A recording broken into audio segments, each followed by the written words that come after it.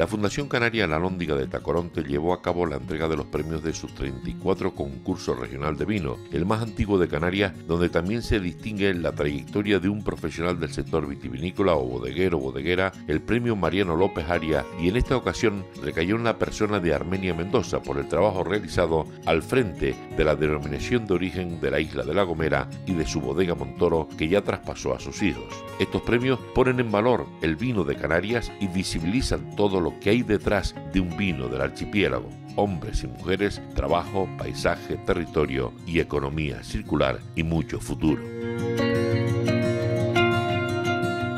Sí, no solo en esa finca de Montoro, ser este reconocimiento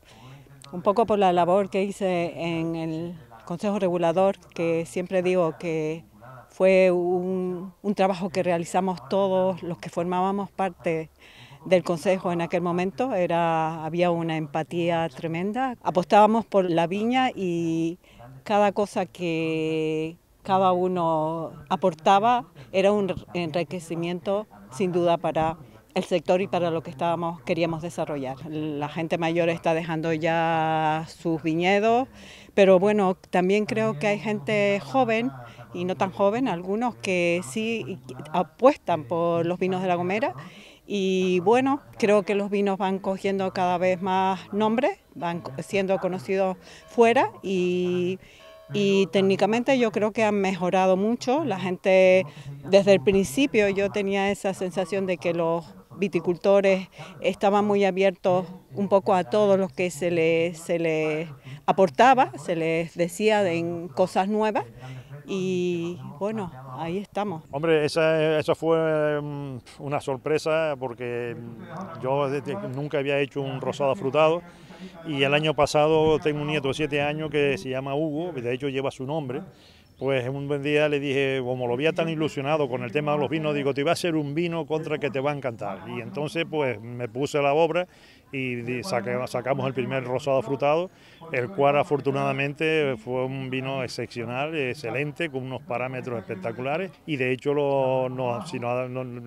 reconocimientos ya no lo dice todo. Ha llevado tres tres medallas de oro internacionales, dos nacionales y regionales, una regional. De, seis, de siete concursos, seis medallas de oro te dice mucho y además internacional y nacional que, lo cual quiere ver el nivel que, tiene, que tenía ese la verdad que la satisfacción para nosotros ha sido para nosotros muy grande, porque nuestro nieto al final mm, ha disfrutado y, los, y lo celebra cada vez que ve su vino y alguien le dice que este es el Hugo del, del vino, pues el hombre se crece. El sector hay que entender que estamos eh, hoy en día, decir que estamos en crisis Dime tú a mí qué sectores no están en crisis hoy. Hoy estamos en un mundo globalizado y, desgraciadamente mm, creo que pocos sectores son los que pueden decir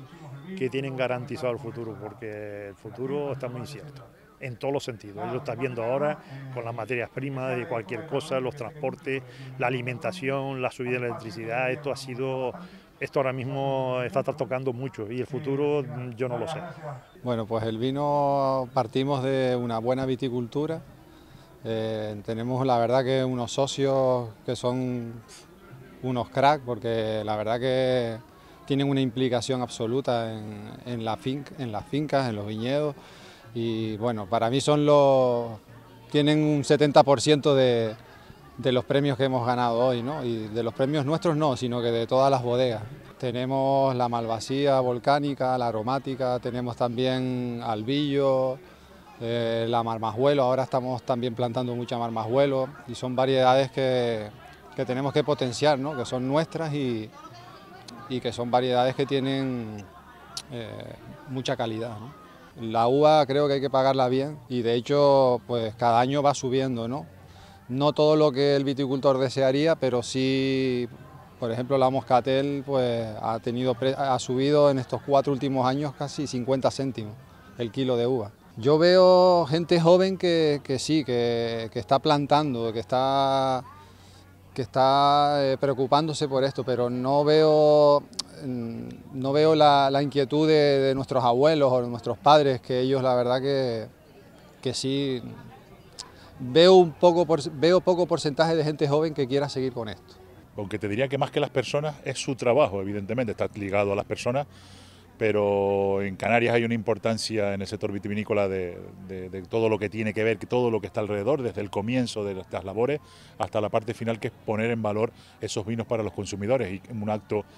un concurso como, como el que estamos eh, entregando hoy los premios, ponen en valor ese, trabajo y a esas personas, porque sí es verdad que, que hoy tenemos que poner más en valor, si cabe, todo lo que, lo que nos diferencia, lo que nos simboliza, y en ese sentido el sector del vino va, va en, ese, en esa línea y es fundamental que las personas que están en este sector crean en ello. Estamos hablando de esa diferenciación, estamos hablando de, esa,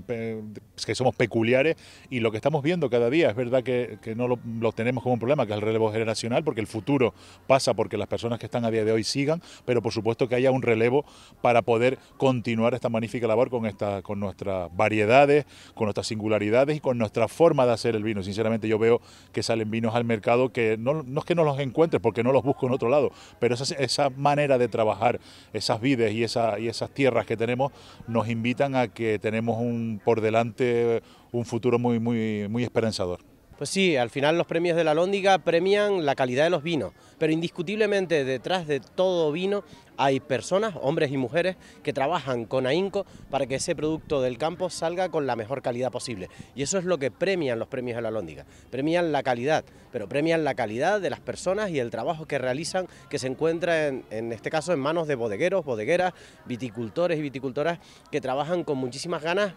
pensando siempre, no en la cantidad, sino en la calidad, en que los vinos de Canarias resuenen de manera internacional como lo han hecho tradicionalmente tras 34 años de certámenes de la Lóndiga. Hay futuro en el sector, hay muchísimo futuro. Además, yo soy de los apasionados y optimistas que creen que a pesar del desasosiego de algunos hablando sobre las mermas de producción en el campo, yo veo mucho futuro porque la calidad al final incrementa el valor de este producto en el mercado y ese incremento del valor del producto en el mercado genera rentas dignas para que la producción de vino con calidad siga teniendo un futuro fantástico en Canarias. Es más importante quizás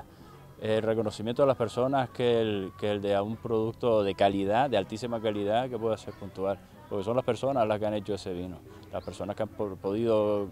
realizar no solo a nivel técnico de su conocimiento, desde ese conocimiento de acervo eh, de generaciones, que encima eh, son capaces de coger esos conocimientos tradicionales y transformarlos y generar un producto distinto, novedoso o simplemente mejorar un producto tradicional de siglos atrás. A partir de ahí, esas personas sostienen un territorio, sostienen una economía, eh, sostienen una familia.